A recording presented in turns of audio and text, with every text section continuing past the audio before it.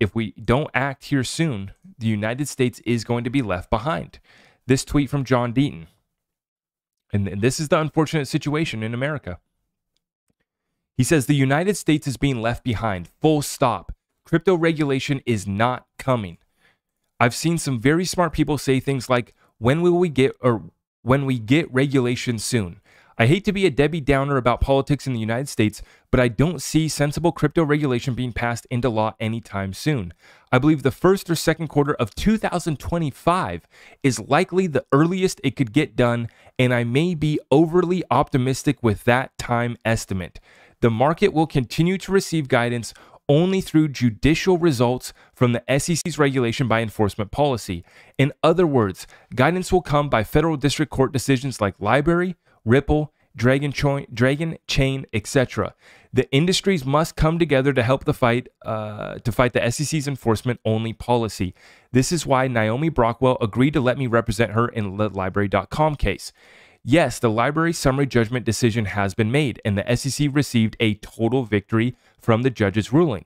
The SEC conceded on the record that many, if not most, LBRY token holders did not view LBRY as an investment and that they utilized the token for consumptive use. However, when asked by Jeremy Kauffman and strongly encouraged by the judge to provide clarity regarding secondary transactions of LBRY, the SEC has refused. I have the script from the November 21st, 2022 hearing, although I'm not allowed to release it to the public yet. So John Deaton's sitting on some documents. Maybe John John must have a red folder too. This is exciting, folks. I didn't know this. John says, I have the transcript from the November 21st, 2022 hearing, although I'm not allowed to release it to the public yet. The words secondary market transactions and the word clarity were uttered on the record more than a dozen times, each mostly from the judge. The SEC's response is the secondary market is not part of the case in controversy and that the SEC doesn't give clarity. The SEC is seeking a permanent injunction that does not distinguish between LBRY and its executives and users of the platform or secondary market transactions. On January 30th, we have a hearing to discuss the issue. I have filed an amicus brief and an appearance in the case. Naomi Brockwell has never purchased an LBC token and she has never sold a single token. She uses the tokens to help generate views for her videos. She didn't even know the tokens had a monetary value when she first acquired them. LBRY Coin is the quintessential utility token. Professional crypto traders have never heard of LBC. It's not an investment for its users. LBRY and its CEO have agreed to burn all pre mined tokens, but the SEC won't budge on offering a no action letter for users or an official statement or any type of clarity whatsoever. People have told me that I'm likely fighting a losing battle. Maybe I am, but what else do we do? We have to fight all these court battles because clarity through legislation is not coming. Congress, I triple dare you to prove me wrong. Wow. Wow. So John's sitting on some documents, some transcripts, okay? And, and we're going to hear them soon.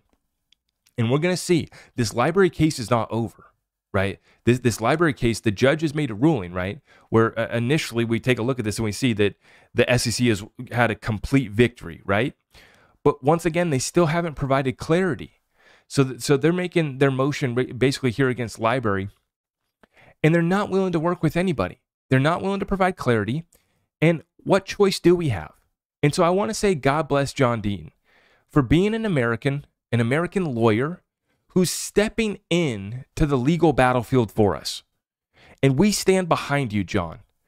And, and, and we wish that uh, we can see this through and we can get a level playing field after clarity is provided. Whether that has to be fought out in court by gentlemen like yourself or whether Congress is going to get its act together, God bless you for being a, man who is standing up,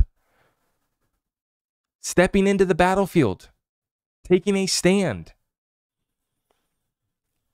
What choice do we have left to do here? And, and John, I just couldn't say it more. God bless you. We stand behind you. We're going to continue shining the light. We're going to continue calling out our congressmen and women who are supposed to be representing the people of America. We're going to continue to call out the SEC. So God bless John Deaton. I am your host, Zach Rector. I really appreciate all of the love and support. If you want to support the channel, just remember that you can start by smashing that thumbs up for me, sharing this content far and wide, and everything else is at my website.